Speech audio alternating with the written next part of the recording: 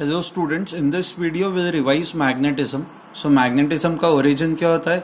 Magnetism का origin is basically in an atom we know that you have a nucleus and you have electrons which are moving around the nucleus हमें यह पता है कि magnetism का origin होता है हमेशा मूविंग चार्जेस तो electron is a charge which is moving so that is why this moving electron it produces magnetic field okay so the origin of magnetism is basically orbital motion of electrons of electrons now electrons का और एक quantum number होता है that is spin quantum number quantum number spin quantum number ना इन दोनों motions के साथ मैग्नेटिक मोमेंट एसोसिएटेड होता है। सो so, इस मोशन के साथ जो मैग्नेटिक मोमेंट एसोसिएशन एसोसिएटेड होता है इसको हम लोग कहते हैं orbital magnetic moment let me write it as M O and इस क्वांटम नंबर के साथ जो मैग्नेटिक मोमेंट एसोसिएटेड होता है उसको कहा जाता है spin magnetic moment it's M S so every atom in itself might behave like a magnet and its total magnetic moment is basically vector addition of two. Orbital magnetic moment plus spin magnetic moment. अब this is something जो हम लोग अभी calculate नहीं करेंगे. Will focus on this orbital magnetic moment now orbital magnetic moment कैसे calculate किया जाता है? Magnetic moment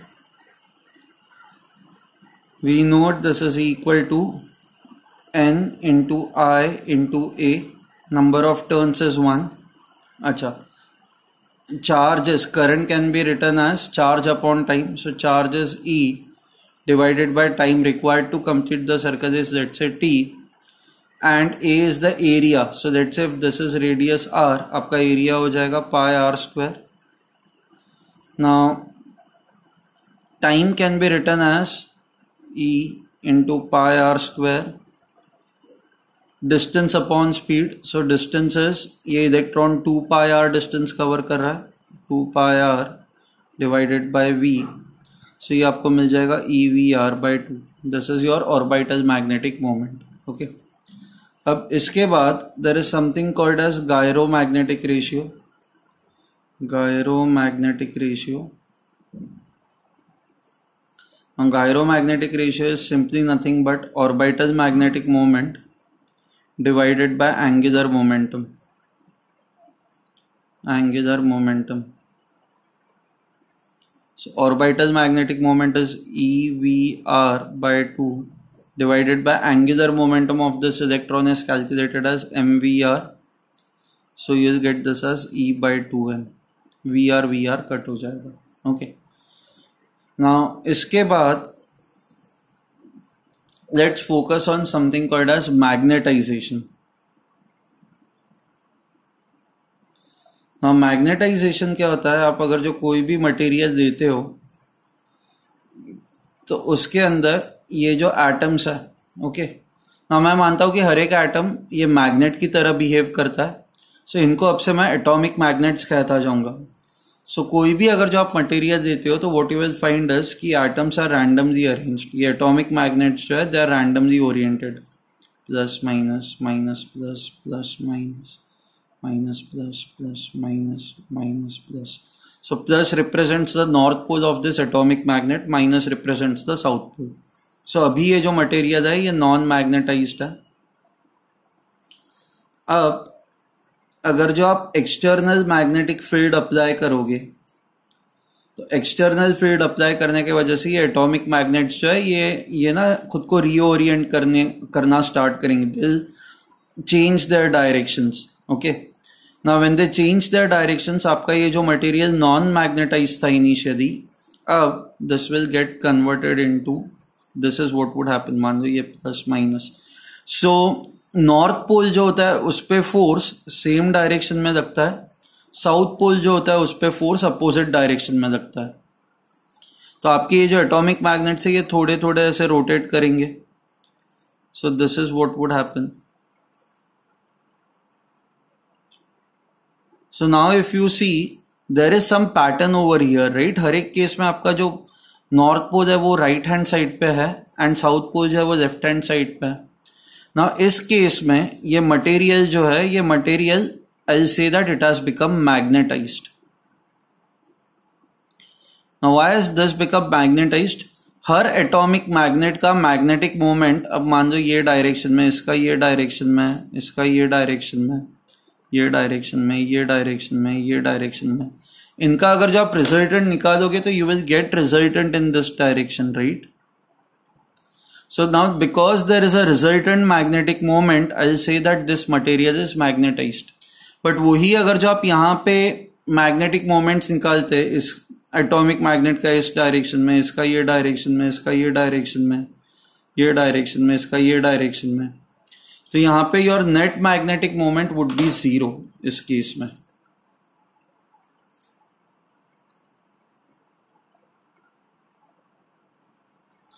So when you do not apply any external field, your net magnetic moment is zero. इस मटेरियल को non magnetized कहा जाता है अब जैसे ही मैग्नेटिक फ़ील्ड अप्लाई करोगे एटॉमिक मैग्नेट्स खुद खुद को रीअरेंज रीओरिएंट करना स्टार्ट करेंगे overall magnetic field overall magnetic moment will be produced in this and i'll say material is magnetized okay now ये कितना मैग्नेटाइज हुआ है उसको फाइंड आउट करने के लिए हम लोग मैग्नेटाइजेशन एक टर्म है जो हम लोग डिफाइन करेंगे which is written as M Z so magnetization is defined as the net magnetic moment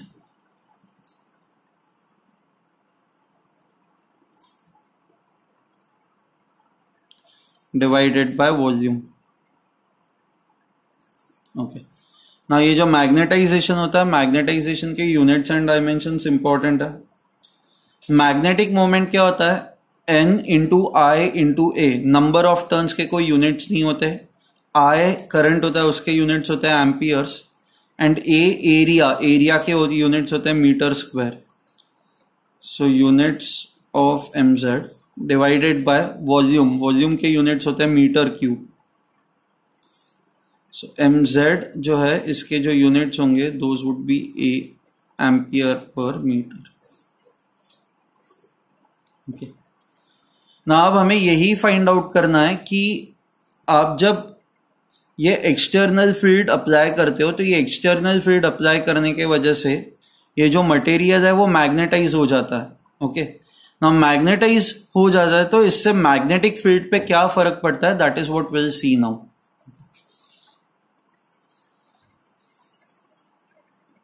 okay let's say we have a material in which atomic magnets are randomly oriented. So कोई ये direction में कोई ये direction में कोई ये direction में कोई ये डायरेक्शन में कोई ये कोई ऐसे ऐसे ये रैंडमली ओरिएंटेड है ओके तो अभी अंदर इस मटेरियल के वजह से कोई भी मैग्नेटिक फ़ील्ड नहीं होगी, आपकी नेट मैग्नेटिक फ़ील्ड ज़ीरो होगी, क्योंकि ये सारे मैग्नेटिक फील्ड्स एक दूसरे को कैंसिल आउट कर देंगे। सो so, मान लो आप अगर जो बी एक्सटर्नल ये एक्सटर्नल मैग्नेटिक फ़ील्ड आप अप्लाई करते हो तो अभी तो इस मटेरियल के अंदर so let say the magnetic field inside the material let me write it as B so B is a combination of two things your external magnetic field plus magnetic field of the material जिसको मैं लिखता हूँ B M but फ़िलहाल material की magnetic field zero है ना? क्योंकि material तो नॉन मैग्नेटाइज है। This is non magnetized so this is B external plus zero so this becomes equal to B external okay okay. But now we know this जैसे ही आप ये external field apply करोगे, ये धीरे धीरे एटॉमिक मैग्नेट्स खुद को रीओरिएंट करना स्टार्ट करेंगे रीअरेंज करना स्टार्ट करेंगे. So what would happen is अब आपके ये सारे जो वेक्टर्स है, ये राइट हैंड साइड पे पॉइंट करना स्टार्ट करेंगे. ये जो वेक्टर्स है they'll move in the direction of the magnetic field ना ये करने की वजह से this side of the material, this will behave like north pole. And this side of the material, this will behave like south pole. ना if you see in this case because सारे atomic magnets अब एक ही direction में point कर रहा है, अंदर का ये मटेरियल मैग्नेटाइज हो चुका है ना? तो बिकॉज़ ये मैग्नेटाइज हो चुका है तो ये अपनी खुद की एक मैग्नेटिक फ़ील्ड प्रोड्यूस करेगा। Let me call that magnetic field as B M and this magnetic field is in this direction okay अब मान लो आप, हमारी एंड ये क्यों हो रहा है? ये एक्सटर्नल फ़ील्ड के वजह से। तो एक्सटर्नल फ़ील्ड तो ऑलरेडी ये डायरेक्शन में है ही। सो नाउ मटेरियल के अंदर आपकी टोटल फ़ील्ड कितनी हो जाएगी? Your total field inside the material is because both vectors are pointing in the same direction मैं दोनों को ऐड कर दूँगा। It is B external plus B M okay now ये जो एक्सटर्नल मैग्नेटिक फ़ील्ड होती है this external magnetic field it is written as mu naught times H पर H is a new term इसको कहा जाता है magnetic intensity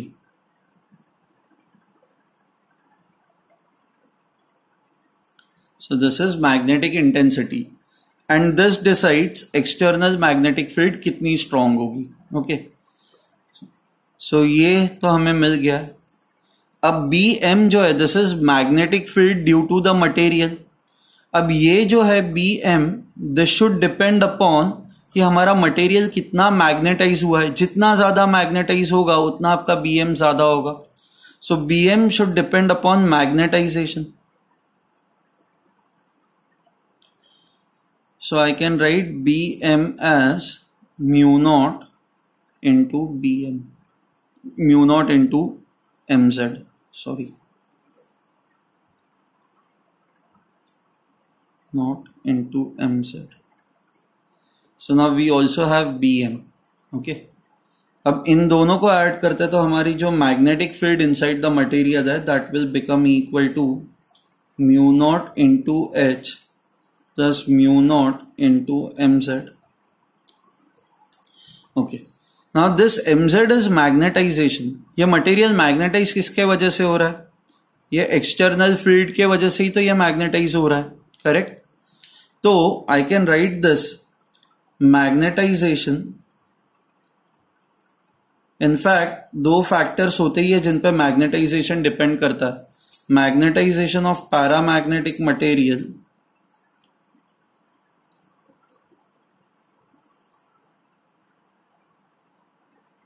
ये जो एम जेड होता है it is directly proportional to your external magnetic field and it is inversely proportional to temperature please remember this so आपकी एक्सटर्नल फ़ील्ड जितनी स्ट्रांग होगी, उतना मैग्नेटाइजेशन ज़्यादा होगा.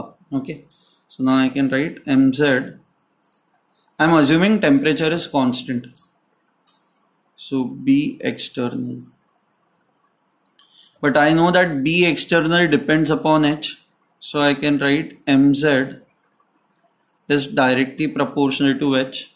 Okay. Now इसको लिखा ऐसे जाता है mz. If I have to put a constant, this constant is called as susceptibility.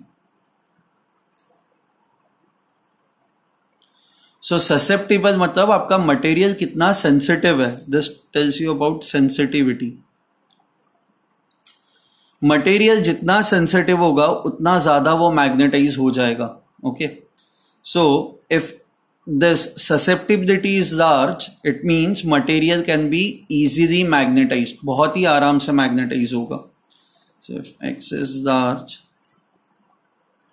it means material can be easily magnetized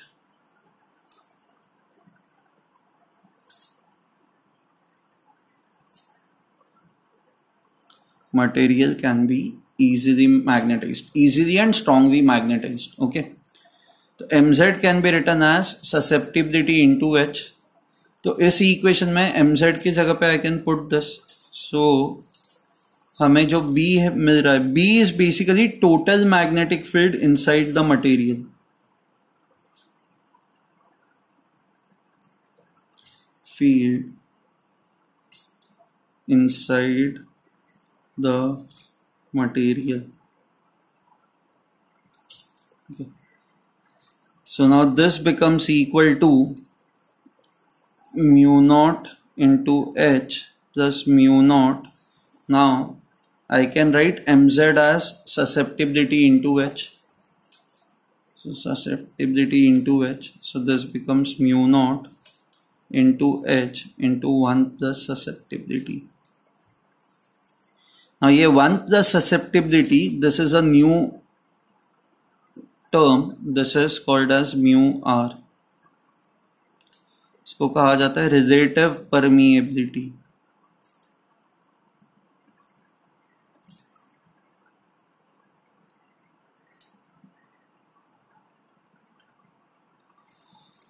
this is unit जैसा एक्स एंड म्यू आर ये दोनों यूनिट दस होते हैं। So if I put one plus susceptibility as mu R तो आपको जो magnetic field मिलेगी that magnetic field would be equal to B will be equal to mu naught into mu R into H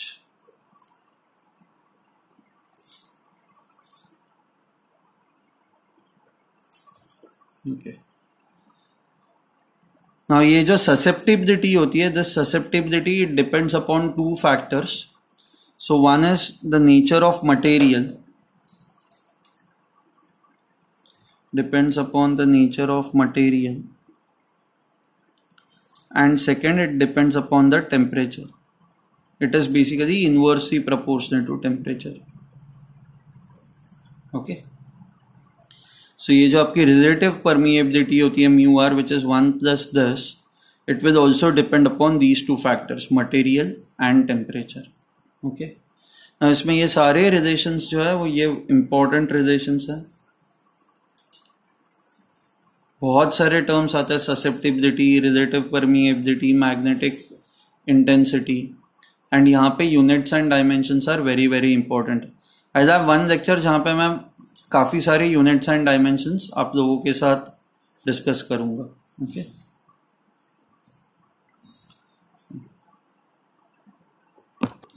ना, तीन type के materials होता है paramagnetic then you have diamagnetic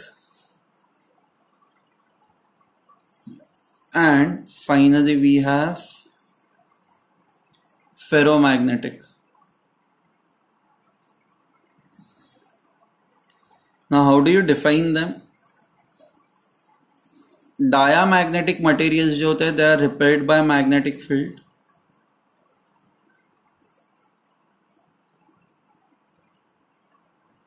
Field अच्छा सेकेंड इनमें सारे इलेक्ट्रॉन्स पेयर्ड होता है all electrons are paired and because all electrons are paired हर एक इंडिविजुअल एटम जो होता है वो नॉन मैग्नेटिक होता है. So each atom is non magnetic is non magnetic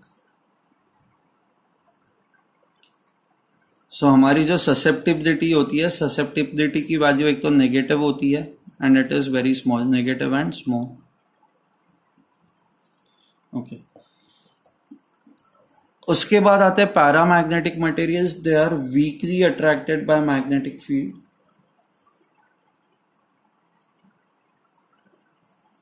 by magnetic field. Acha, these materials can be converted into temporary magnets. जैसे for example electromagnet होता है तो that is a temporary magnet okay तो these can be converted into temporary magnet उसके बाद यहाँ पे they have unpaired electrons उसके बाद नेक्स्ट पॉइंट हमारे लिए, हर एक एटम जो होता है वो मैग्नेटिक होता है। Each atom is magnetic but just because all atoms are randomly arrange ये सारे एटम्स रैंडमली अरेंज होता है ओवरऑल मैग्नेटिक फ़ील्ड हमारी ज़ीरो हो जाती है ओके ना ये magnetize this can be magnetize in the presence of external field external field अच्छा हमें ये पता है इनके लिए ये जो ससेप्टिबिलिटी होती है this is positive and it has a small value so this susceptibility is inversely proportional to temperature finally आता है ferromagnetic materials these are strongly attracted by magnetic field by magnetic field.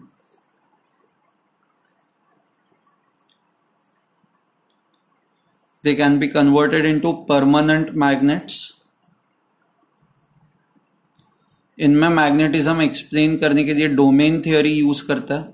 हम लोग जो आप textbook से पढ़ सकते हो इट इज़ वेरी सिंपल अच्छा they have got many unpaired electrons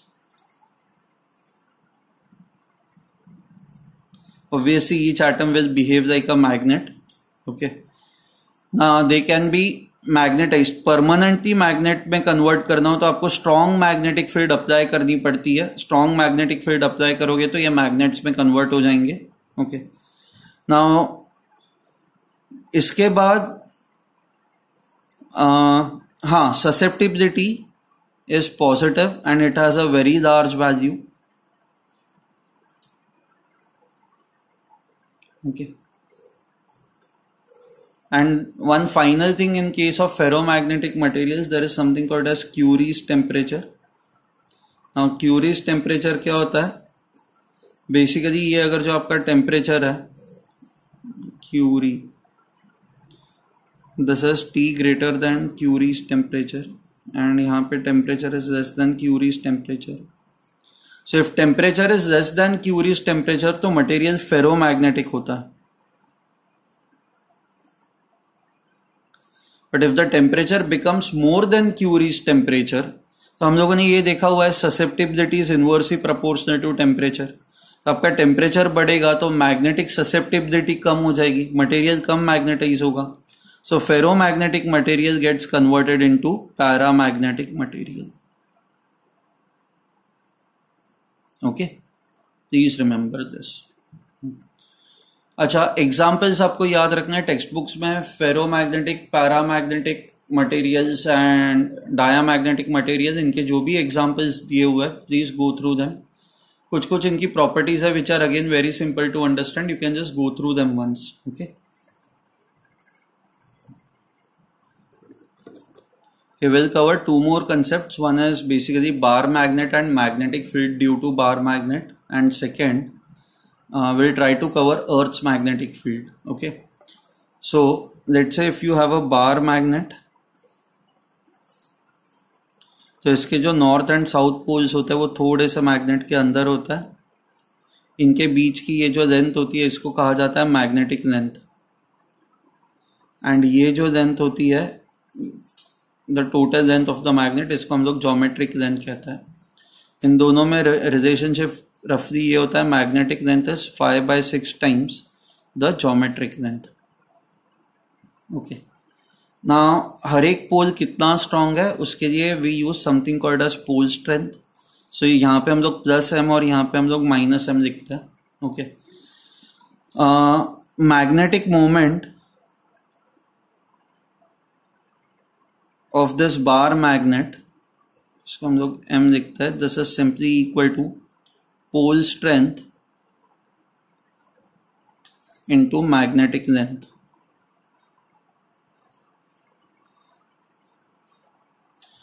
magnetic moment m, pole strength is small m into magnetic length. अब आपको मैग्नेटिक मोमेंट के यूनिट्स पता है ampere into metre square and इसके यूनिट्स मैग्नेटिक लेंथ के units होते हैं मीटर्स सो so, आपको पोल स्ट्रेंथ के यूनिट्स मिल जाएँगे। Okay okay. ना किसी भी पोल के वजह से सी सिंगल पोल एग्जिस्ट नहीं करता।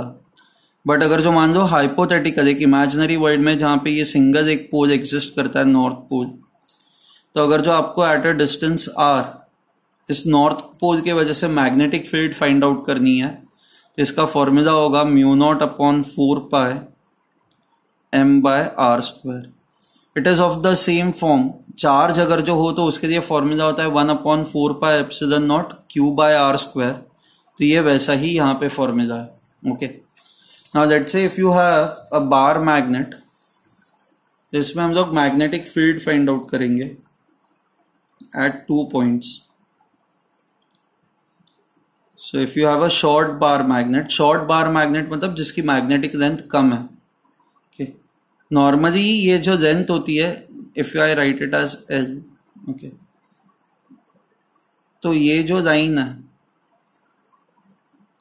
इसको हम लोग कहेंगे axis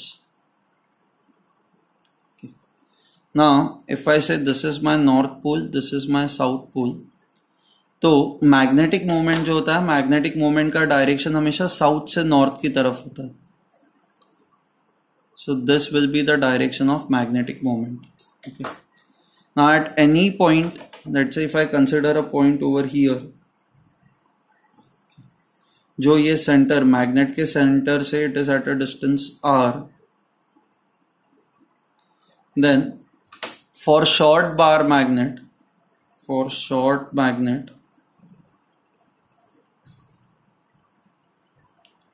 magnetic field at this point would be equal to mu naught upon 4 pi 2 m by r cube. Okay. So, this is magnetic field on the axis of the bar magnet. एंड direction क्या होगा magnetic field का जो direction होता है axis पे it is same as magnetic moment का direction आपका मैग्नेटिक मोमेंट का डायरेक्शन ऐसा है तो मैग्नेटिक फ़ील्ड का भी डायरेक्शन जो है वो ऐसा ही होगा। सेम डायरेक्शन होता है okay so just right B And M have same direction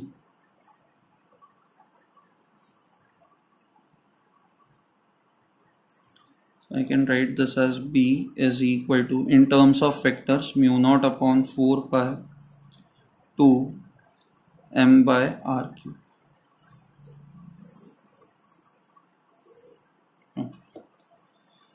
अब हम लोग देखते हैं magnetic field on the equator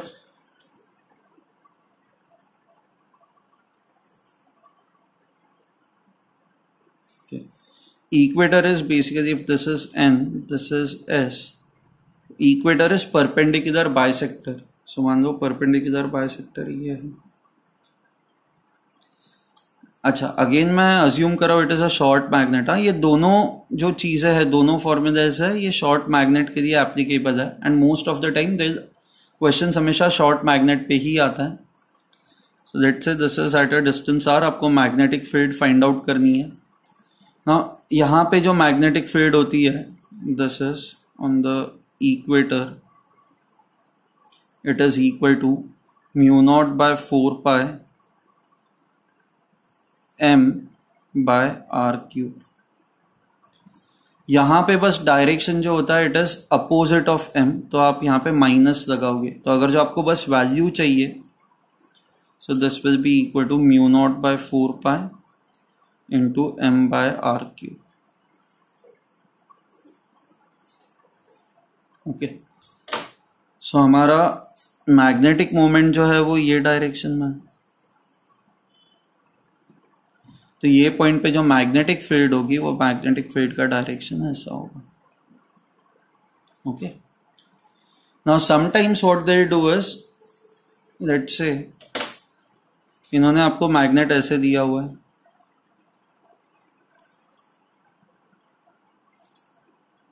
okay this is north, this is south. Okay. And आपको ऐसे एक पॉइंट पे मैग्नेटिक फ़ील्ड फाइंड आउट करनी है जो ना ही एक्सिस पे दाय करता है और ना ही इक्वेटर पे दाय करता है। So let's say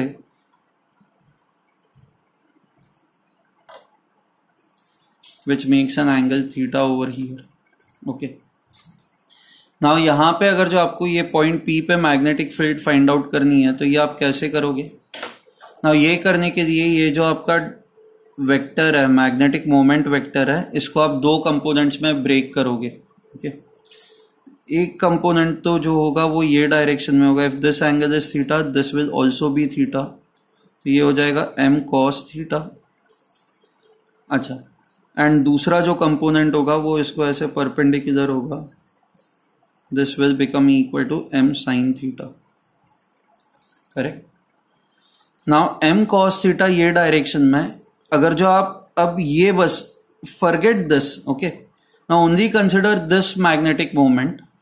So, if you see, ये जो पॉइंट बी है, या पॉइंट पी जो है, ये इसके एक्सिस पे लाई करता है. This is nothing but the axis of this magnet right अगर जो मैं यहाँ पे एक छोटा सा इमेजिनरी मैग्नेट अज्यूम करूँ तो ये जो लाइन है, ये इसकी एक्सिस हो गई।